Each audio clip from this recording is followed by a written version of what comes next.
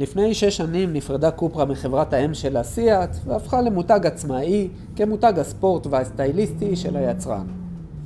בדצמבר 2019 קופרה אטקה הייתה הקופרה הראשונה שהגיעה לארץ, אך רק במרץ 2021 הושק רשמית מותג קופרה בגלגולו החדש בישראל, עם צמד דגמים נוספים, קופרה ליאון שהחליפה את הסיאט ליאון קופרה, ולצידה גם קופרה פורמנטור, דגם SUV משפחתי חדש, והדגם הראשון של היצרן שאין לו אח חורג בסיאט, או כמו שכינה אותו היצרן אז, 100% קופרה.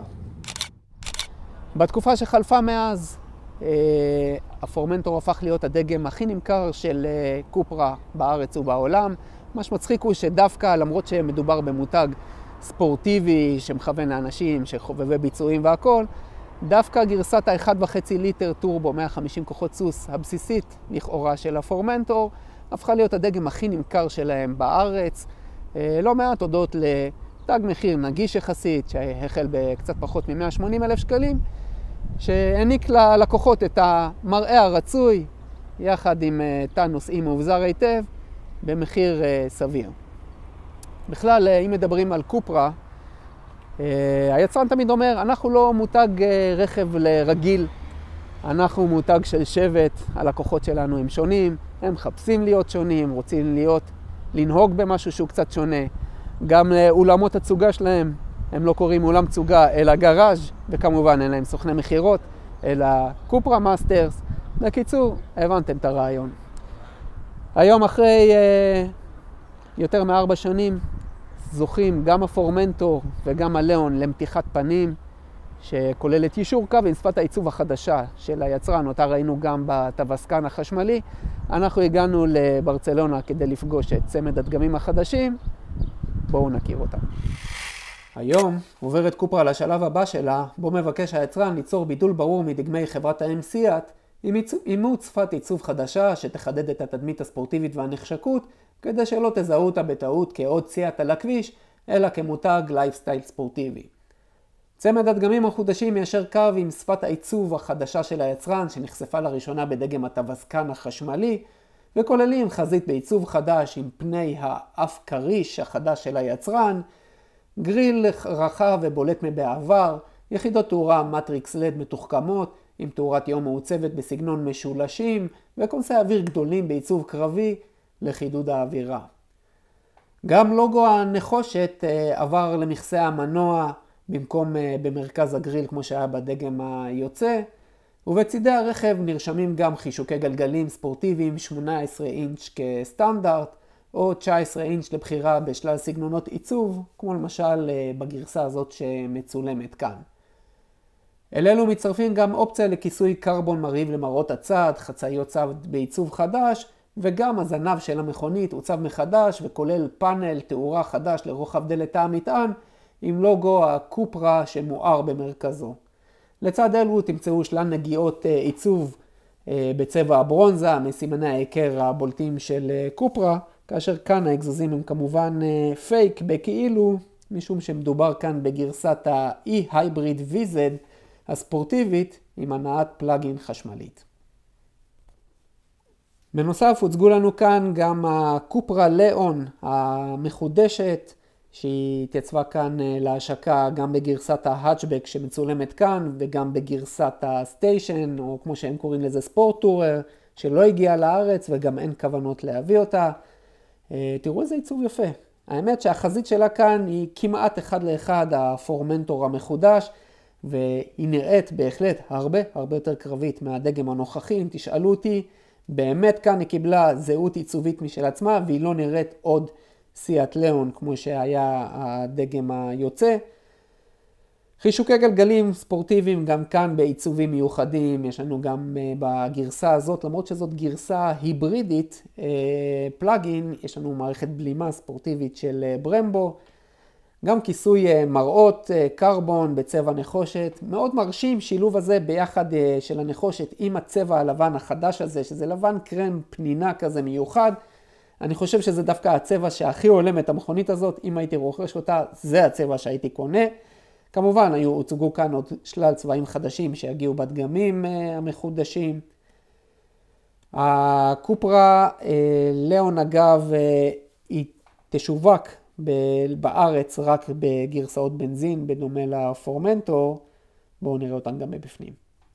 בתא הנוסעים השינויים קצת פחות משמעותיים ומתרכזים בעיקר בהגדלת מסך המולטימדיה ל-12.9 אינץ' שכולל ממשק גרפי חדש, קישוריות אלחוטית לאנדרואיד אוטו ואפל קרפליי לצד עדכוני OTA מרחוק. לוח השעונים הדיגיטלי עוצב מחדש וגם מערכת השמע בגרסאות הבכירות של הדגם שודרגה לסנאייזר הגרמנית וכוללת מעתה 12 רמקולים.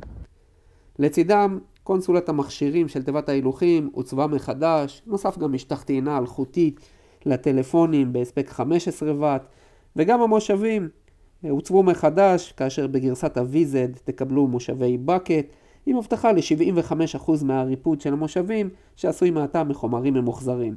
לקינוח, מתג ההתנעה עבר להגה ולצידו גם מתג בורר מצבי הנהיגה, שיחד עם נגיעות קוסמטיות שונות בתא הנוסעים, מספקים לנו אווירה יותר ספורטיבית מבעבר. היצע המנועים שרלוונטי לארץ יחל עם מנוע טורבו 1.5 ליטר 150 כוחות סוס המוכר, שמתעדכן לראשונה בגרסת ETSI, הכוללת מערכת היברידית מתונה 48 וולט, ומסייעת לצריכת הדלק ופליטת מזהמים נמוכה יותר. גרסה זו לא התייצבה לנהיגת ההשקה וחבל, משום שזו הולכת להיות מן הסתם המבוקשת והנמכרת ביותר בארץ. עבור מי שמחפש קצת יותר פלפל, תוצע גרסת 2 ליטר טורבו 204 כוחות סוס, ובתוספת הנאה כפולה שמציעה ביצועים משודרגים וחוויית נהיגה ספורטיבית יותר. בקצה משפחת הדגמים תוצע פורמנטור VZ, גרסת הביצועים הבכירה, זוכה למנוע טורבו 2 ליטר חדש עם הספק שצמח ל-333 כוחות סוס, בדומה לאאודי S3 וגולף R החדשים.